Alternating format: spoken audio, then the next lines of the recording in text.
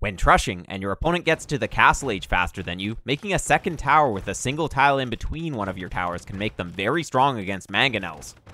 Since mangonels only have 7 range and towers have 9, with this setup, you can have 2 towers shooting a single mangonel at once. Having one tile of space gives you a spot for your villagers to repair, covers more area, and also prevents enemy mangonels from easily attacking both towers at once with their splash damage. As you can see, the cost to repair mangonels is significantly higher than the cost to repair towers.